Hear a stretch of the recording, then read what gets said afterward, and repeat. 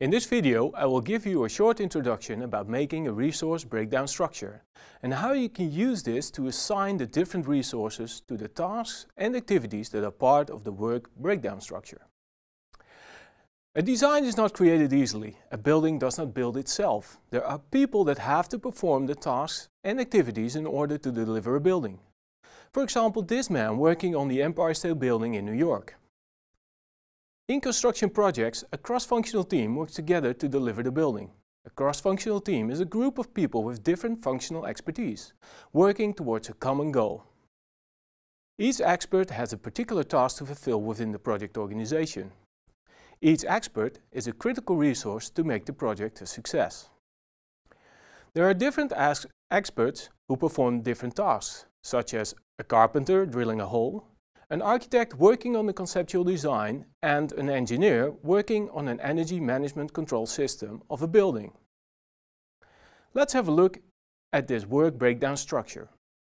Remember that people are performing tasks and activities with the purpose of delivering a building and its separate components, such as a ventilation system or the building structure.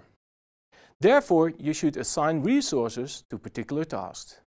These resources need to be capable to perform these tasks and should be assignable at the right moment in time. Let me give you another example. To assign the right resource to resources to particular tasks, you should ask yourself, who would you ask to investigate the level of soil contamination on a site? Would you go for option one, people who are trained engineers in the field of so soil contamination? Or option two, a carpenter? Okay, I think you get it. Let's make a resource breakdown structure. A resource breakdown structure is a logical, hierarchical tree of personal resources needed to complete a project. Let me show you an example of a resource breakdown structure of an architectural firm. At the highest level, it shows the company type. Then the owners or lead architects of the firm, and one layer down, it shows the head of departments and the senior staff members such as the senior architects. And finally, it shows the junior staff and workers at the bottom. As you can see, the resources are ordered by function. On the left you see the architects and on the right the structural engineers. Remember that for tasks and activities to be, to be performed, you need appropriate resources to perform them. By merging the work breakdown structure and the resource breakdown structure, you can create a responsibility assignment matrix. This matrix identifies who is responsible for performing specific project tasks. Here's an example.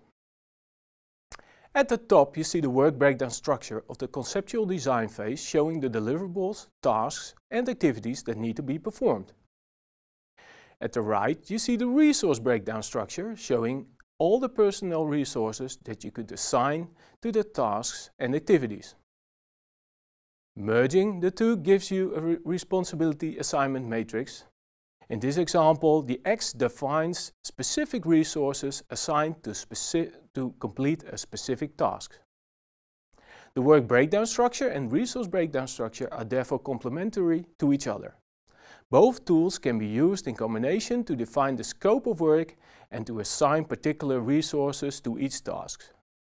This is the basis for designing a project organization. This brings me to the end of this presentation. I started my presentation by telling you that a building does not build itself. There are people that have to perform the tasks and activities in order to deliver a building. After you define the scope of work by using a work breakdown structure, you need to connect the tasks and activities to resources. These resources should be capable of performing these tasks and should be available when you need them. By merging the work breakdown structure with the resource breakdown structure, you can create a responsibility matrix.